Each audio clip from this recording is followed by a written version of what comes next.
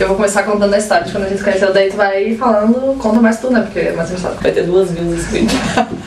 Uma minha matou. Oi, e aí, pessoal, trouxe aqui pra vocês minha melhor amiga, o nome dela é Luísa. E aí, galera, tudo bom? Hoje a gente vai contar o dia que a gente se conheceu. Tudo começou quando a gente foi estudar no mesmo colégio. A Luísa já estudava muito mais tempo naquele colégio, mas eu entrei na quarta série. E a gente não se falava por motivos de a Luísa era do grupo dos populares e eu era do grupo das pessoas que não existiam, tipo, os excluídos, assim. Eu tinha somente uma amiga. Aí chegou uma época em que minha mãe finalmente deixou eu pegar ônibus, a Luísa já pegava ônibus. Olha, olha. Desde que ela tinha começado a andar. Olha. Naquela época o ônibus era 60 centavos, né?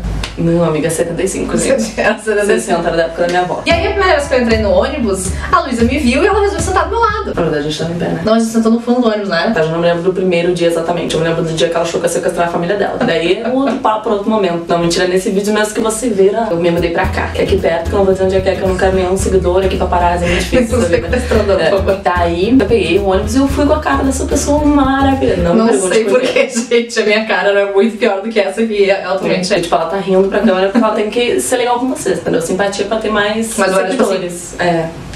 Ela ainda é quando ela anda sozinha. No ônibus, é bem sempre estranho. É, eu também sou, mas é bem menos. E eu pensei assim, vamos fazer uma caridade com essa pessoa, então. Eu vou lá falar com ela.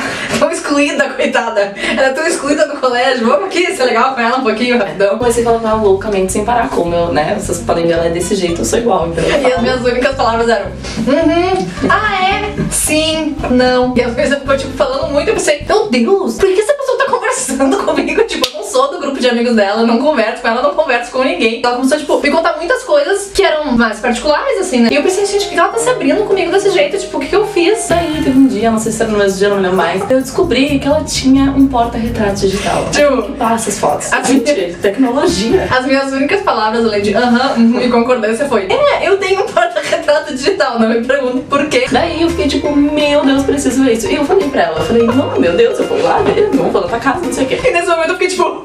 Meu Deus, ela disse que vai na minha casa. Não, eu não quero que tu vá na minha casa. Aí eu pensei automaticamente, gente, ela começou com esse papo de ser amiga, falar, e eu falo do porta-retrato digital e a primeira deixa que ela tem pra querer da minha casa. Ela quer me sequestrar, ela quer roubar minha família. Com certeza, gente, no dia que eu descobri isso, eu me mijei de rir. Eu fiquei pensando assim, o que, que ela esperava? Que eu entrasse na casa dela, botasse o pai dela na cacunda, o irmão dela na cacunda, a irmã dela no colo, a mãe dela no colo, e levasse, porque são fucking quatro pessoas, entendeu?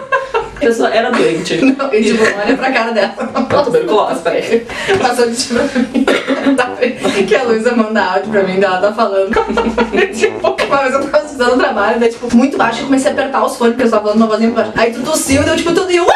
E daí, tipo, todas as pessoas ficaram olhando pra mim. Mas isso era só um adendo. Enfim, eu, como é que eu, Eu pude. bastante, Como né, é que eu saberem.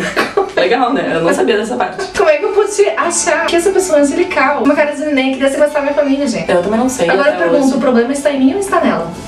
Com certeza, né? Vamos lá fazer uma votação agora lá embaixo. Não sei como é que funciona o YouTube. Façam aí, entendeu? No meu canal, não tem mentira. Façam votação, eu sou a melhor, é óbvio. Obrigada. Beijo no coração de vocês. Mas enfim, daí essa retardada. E tipo assim, demorou. assim, Não posso falar palavrão, né? Eu falo muito palavrão. Pode, né? gente, pi. É, não vou falar que fica chato, pi.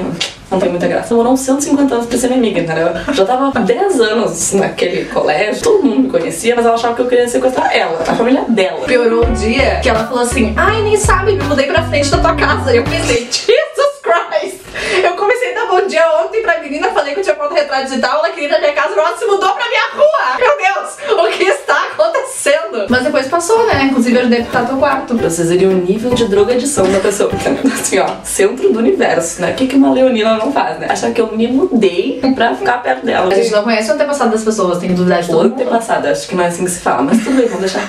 Deixa mais uma palavra criada por Bettina. Mas enfim, gente, essa foi a história de como eu conheci a minha melhor amiga. Aposto que vocês devem ter histórias muito engraçadas, ou talvez bem sem graças de como conhecer os seus melhores amigos. Eu não sei se só a gente se conheceu de um jeito muito estranho. Deixe nos seus comentários, me siga nas redes sociais. Não siga a Luísa, porque eu tenho muitos ciúmes dos meus amigos, entendeu? Inclusive, se você é amigo da Luísa, fique sabendo que eu sou a melhor amiga dela. Não existe hipótese número grau que ela seja amiga. Vocês são apenas conhecidos dela. A amizade mesmo, ela se sente por mim. Não deixe de assistir os outros vídeos, se inscrever no canal e um beijo. Quer mandar um recado, Luísa? Quer dizer que ela já tá com asma, entendeu? Já tá tipo. E a asma é a terceira pessoa da nossa amizade, entendeu? Daqui a pouco ela vai usar bombinha, então a gente tem que realmente acabar esse vídeo. Mas foi um prazer, gente. Não me sigam nas redes sociais porque eu não tenho, não respondo, não gosto, detesto, sabe? Me manda áudio assim, olha, vai demorar pra eu escutar. Responder, então, detesto minha voz. Não me manda, eu não vou responder, não gosto da minha voz, não gosto de E escrever. quando ela nada. responde é tipo três dias depois. Mas é só pra mim também, pros outros ela não responde, porque eu sou a melhor amiga. Demora mesmo. Então tá, beijo. Ih, tá, tá, tá, tá. louco,